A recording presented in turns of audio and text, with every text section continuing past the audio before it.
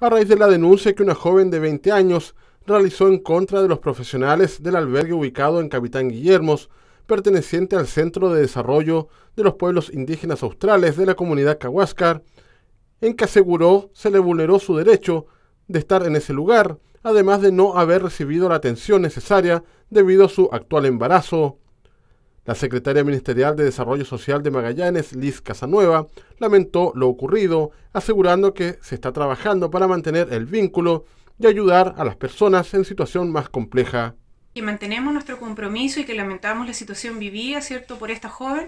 que eh, se vio envuelta en una situación de conflicto dentro del albergue, nosotros eh, volvemos a recordar y eh, refrendar ¿cierto? nuestro compromiso con cada una de las personas en situación de calle. Recordamos también a la comunidad que cada uno de estos albergues tiene como objetivo poder entregar alimento y cobijo durante los meses de invierno. Por lo tanto, independiente de este compromiso básico de supervivencia, nosotros también mantenemos una red eh, activa, ¿cierto?, de vinculación eh, para con estas personas y el resto de la red eh, que trabaja, ¿cierto?, la red pública.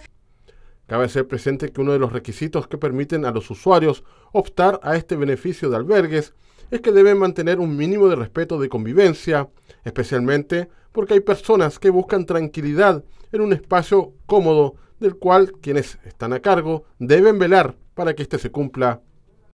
Además, eh, recordar que nosotros nos acogemos a la voluntariedad también y al compromiso de estas personas de asumir eh, una,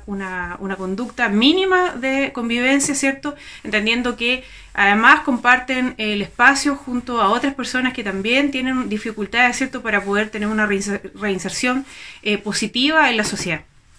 Recordó Casanueva que el objetivo de este albergue es entregar abrigo, alimento y protección en cuanto a los implementos de seguridad a los residentes para que puedan enfrentar la actual pandemia por coronavirus.